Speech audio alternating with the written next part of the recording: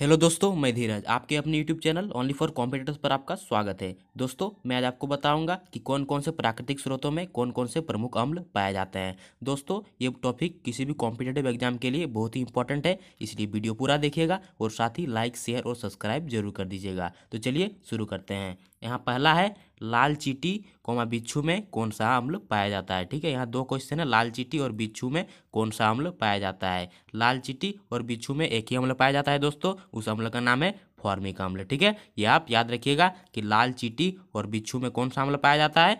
यहाँ फॉर्मिक अम्ल, ठीक है? ये आप याद रखिएगा। चलिए अगला देखते हैं, अगला है खट्ठे फल में कौन सा अम्ल पाया जाता है, ठीक है? खट्ठे फल में कौन सा अम्ल पाया जाता है? तो हो जाएगा साइट्रिक अम्ल, ठीक है? खट्ठे फल में कौन सा अम्ल पाया जाता है? साइट्रिक अम्ल, ये आप याद रखिएगा, ठीक है? चलिए अगला देखते हैं, अगला है घास पत्ता मूत्र में कौन सा अम्ल पाया जाता है? ठीक है? घास, पत्ता और मूत्र में कौन सा अम्ल पाया जाता है? तो घास, पत्ता और मूत्र में कौन सा अम्ल पाया जाता है दोस्तों? बेंजोइक अम्ल, ठीक है? ये आप याद रखिएगा इंपॉर्टेंट है, बेंजोइक अम्ल, ठीक है? याद रखिएगा आप। चलिए अगला देखते हैं। अगला है, सारेल के वृक्ष में कौन सा अम्ल पाया जाता है? ठीक है? सारेल का वृक्ष में कौन सा अम्ल पाया जाता है? ना ऑक्जेलिक अम्ल सारल का वृक्ष में कौन सा अम्ल पाया जाता है? ऑक्जेलिक अम्ल ये आप याद रखिएगा इंपॉर्टेंट है, सारल का वृक्ष में कौन सा अम्ल पाया जाता है? ऑक्जेलिक अम्ल ठीक है? चलिए अगला देखते हैं, अगला है, फल का रस सिरका में कौन सा अम्ल पाया जाता है, ठीक है? फल का रस और सिरका में कौन सा अम्ल पाया जाता है? एक ही अम्ल होगा, एसिटिक अम्ल ठीक है? फल का रस और सिरका में कौन सा अम्ल पाया जाता है? एसिटिक अम्ल ये आप याद रखिएगा इंपॉर्टेंट है। चलिए अगला देखते हैं, अगला है फिटकरी सोरा में कौन सा अम्ल पाया जाता है, ठीक है? फिटकरी और सोरा में कौन सा अम्ल पाया जाता है? नाइट्रिक अम्ल, ठीक है? नाइट्रिक अम्ल फिटकरी और सोरा में कौन सा अम्ल पाया जाता है? नाइट्रिक अम्ल, ठीक है? चलिए अगला देखते हैं। अगला है, हरा कशिश में कौन सा अम्ल पाया जाता है, ठीक है? हरा कशिश में कौन सा अम्ल पाया जाता है? तो हरा कशिश में कौन सा अम्ल पाया जाता है दोस्तों? सल्फ्यूरिक अम्ल, ठीक है? सल्फ्यूरिक अम्ल, हरा कशिश में कौन सा अम्ल पाया जाता है? सल्फ्यूरिक अम्ल। सल्फ्यूरिक अम्ल का सूत्र क्या होता है? H two S O four ठीक है? ये आप याद रखिएगा। चलिए, अगला देखते हैं। अगला है, इमली जो होता है वो खट्टा जो लगता है, उसमें कौन सा अमल पाया जाता है, ठीक है? इमली में कौन सा अमल पाया जाता है? तो इमली में कौन सा अमल पाया जाता है दोस्तों? टार टारिक अम्ल, ठीक है? टार टारटेरिक अम्ल, ये आप याद रखिएगा इंपॉर्टेंट है टार टारटेरिक अम्ल। इमली में कौन सा अम्ल पाया जाता है? टारटेरिक अम्ल, ठीक है?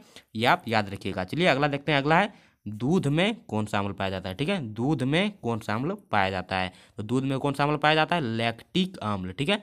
लैक्टिक अम्ल, दूध में कौन सा अम्ल पाया जाता है? लैक्टिक अम्ल। ये आप याद रखिएगा, ठीक है? चलिए अगला देखते हैं। अगला है मक्खन में कौन सा अम्ल पाया जाता है, ठीक है? मक्खन में कौन सा अम्ल पाया जाता है? तो मक्खन में ब्यूटेरिक अम्ल पाया जाता है, ठीक है?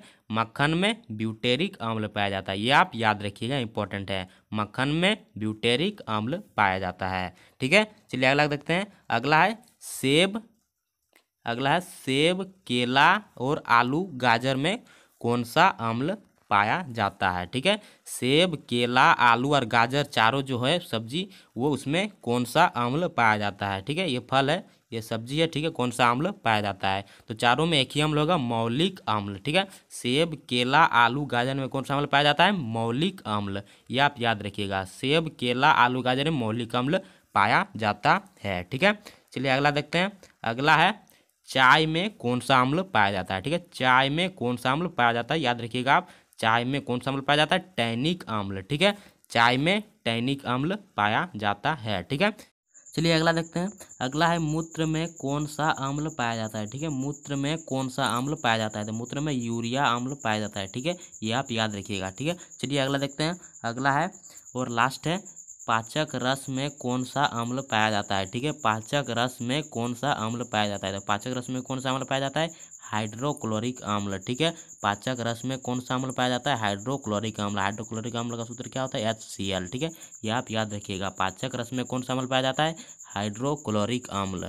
दोस्तों, ये टॉपिक बहुत ही इंपॉर्टेंट है, जैसे कि मैं पहले ही बोल चुका हूँ। इसलिए ऐसे आप दो तीन बार देखोगे तो आपको आसानी से याद हो जाएगी। ठीक है, दोस्तों?